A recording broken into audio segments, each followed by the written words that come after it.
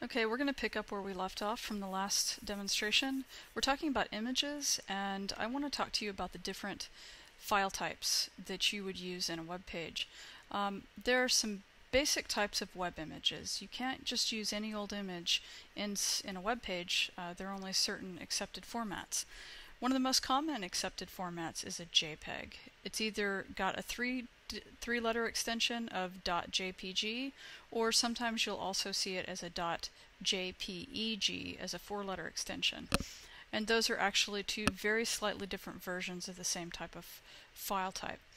Um, there is another uh, very short sort of PDF slide lecture that you should review that goes into a lot more specifics about the different file types, but I'm going to give you a really quick overview. Um, a JPEG image is an RGB mode image that stands for red, green, and blue, and that means that it has three color channels. And just so you know, each color channel supports up to 256 uh, possible tones um, of red, of green, and of blue. So if you multiply those together, that ends up being the possibility of millions of colors. Okay, so because it supports millions of colors, pictures like this one uh, of this little hip trips section, that would be an example of a, a, good use of a JPEG because you need millions of colors for a full spectrum of uh, possible values, okay, so that you can get good gradients and things like that. Now, a JPEG does not support transparency, so you can't see through any part of a JPEG, um, and uh, it does it does, however, support compression. So what it does for JPEG makes it special is that you can do different levels of compression so that the image uh, can be smaller in size. Of course, the more you compress it, the more quality you're throwing away and you're giving up. So you can make some decisions like when you're in Photoshop about how much compression you want to sacrifice the, the quality of the image for file size. So um, that's a JPEG. And in this case, in this example, if I were to inspect this element, you can see right here that this image is in fact a JPEG image. And I typically will save things as JPEGs if I don't have to have transparency and I need millions of colors. And the reason is because the file size can be a lot smaller than say with a full-blown PNG 24. Okay, now that brings me to my next file type that I use very, very commonly. And you're going to see more and more of this file type on the web now.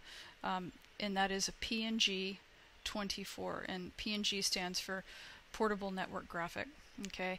Now, there are two different types of PNGs. There's a PNG 24 and there's a PNG 8. Okay. So a PNG 24 would be uh, an indication of how many channels, color channels, I should say, how many color channels it has. Okay, now I said before that RGB mode is red, green, and blue. That's three channels. And I said each channel supports up to up to uh, 256 possible tones. That's also going to be true for a PNG 24.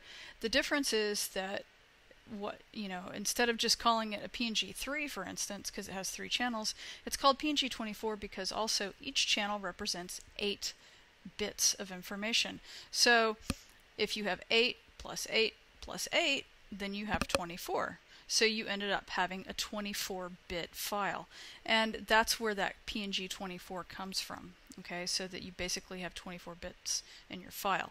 Now, the one extra trick about PNG 24s that makes it really different uh, from a JPEG is that it does support transparency, which is really terrific. So you can see through things like up here in this Jet Setter uh, graphic. Jet Setter has transparency in between and behind the letters, okay? So that you can actually, here, in fact, I'm going to close this, so that you can actually see, as I move this around, you can see how you can see through the letters and into the background, and it looks pretty seamless, and it's really nice. Um, the other difference between a JPEG and a PNG24 is that a PNG24 does not support compression. So that means that it, by default, is typically a bigger file size. Um, it does support millions of colors, which is one of the reasons that it's such a lovely kind of image to use. Um, and the type of transparency that it supports is uh, it's referred to as an alpha channel. Okay, so you have the RGB color channels, but then you also have an alpha channel. Alpha channel is a transparency channel. And it's like the the transparency that you would see, say, in Photoshop, where you can have different levels of um, transparency. So, just in the same way that you can have 256 possible levels of light in, say, the red channel or the green channel or the blue channel, you can also have two up to 256 different levels of transparency so that you can for instance see through these dots. These white dots that are repeating everywhere those are uh, a PNG 24 and what it is is it's basically a white dot that has a very low level of transparency or has a very low level of opacity I should say has high transparency low opacity um, so that it's a I don't remember exactly what the percentage is, but it's about maybe 25% opaque, so that only about 25% of the image is actually visible and the rest of it is transparency, so that you're basically able to see through these white dots through to the clouds that are behind them and uh, through to the wing and so forth. And you'll notice that in this case, the jet setter uh, image is sitting on top of the white dots and the white dots are sitting on top of the airplane background okay? So you can layer images. That's also very important to understand. And the way that you layer images is really dependent on where you're placing them either in the HTML or in the CSS but of course the CSS is tied to the HTML so uh, it really depends on kind of how you're setting up your page and you can almost think about creating your Photoshop documents in some of the kind of layers as you might also consider uh, making your HTML pages. Okay, so that's something that's important to remember. So the PNG 24, all right, as a recap, supports millions of colors and uh, it supports an alpha channel for transparency. It does not have uh, compression and it is red, green, and blue with um, an alpha channel. Okay, now the other type of PNG is a PNG 8. And I don't have a version of that in here, um, but a PNG 8 is, uh, it's only one channel, which is, you know, basically what the 8 means. It's 8 bits or 256 possible colors. Um, so it's just one channel. And that means that it uses what's called indexed color. Okay, indexed color for PNG 8 is also pretty much exactly the same as the way that a GIF file works. It's .gif. Okay, GIF and PNG8 are very similar. They're both index color. They both support up to 256 possible specific colors. And that's it. Those are good for really basic, simple kinds of logo graphics and things that don't require lots and lots of um, gradients and different colors and things like that. You don't want to use, for instance, uh, a GIF or a PNG8 format for a picture like this one, where you've got all of these green trees and you've got all these gradients up in the ceiling.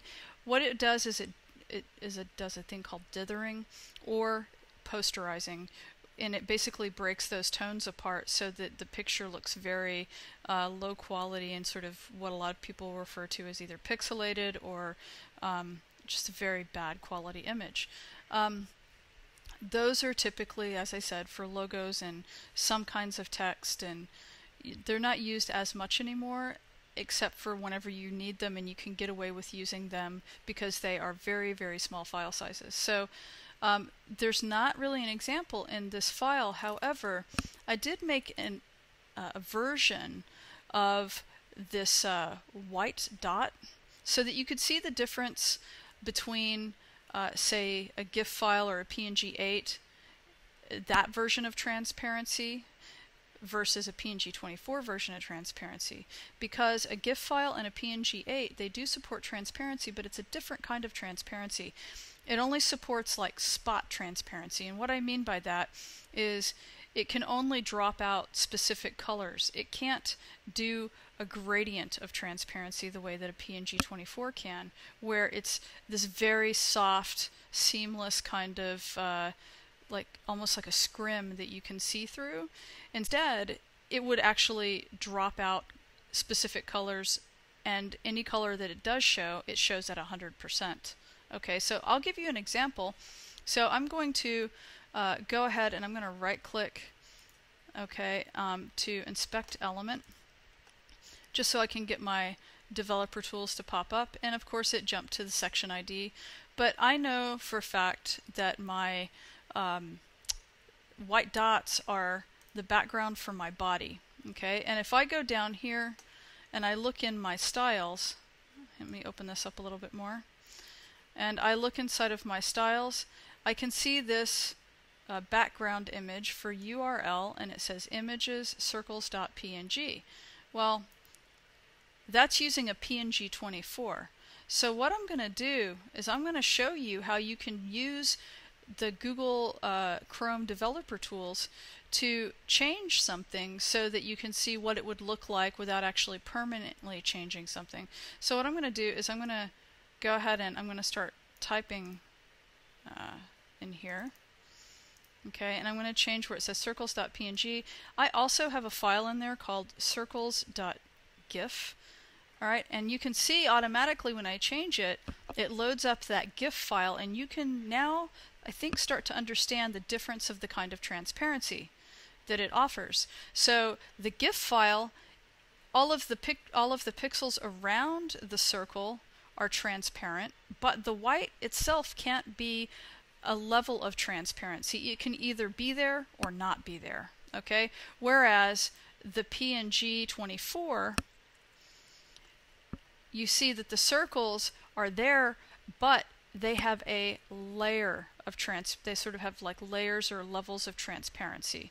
So it's only about I think somewhere between 25 and 30% probably visible.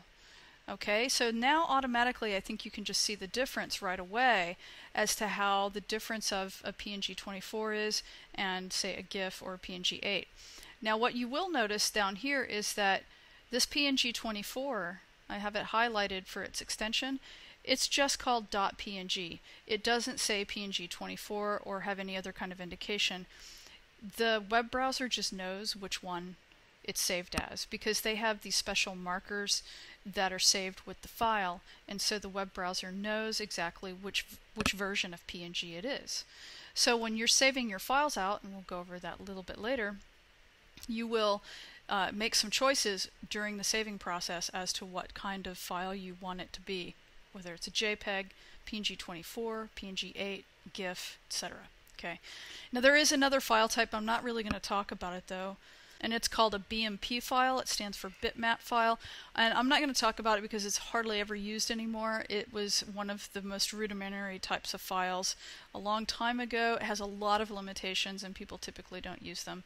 Um, and so I'm not really going to talk about them, but do know that there is a, a file type called a .bmp or a bitmap file that you can actually use, but uh, you'd be hard pressed to find one anymore in a website. Okay, so those are the file types.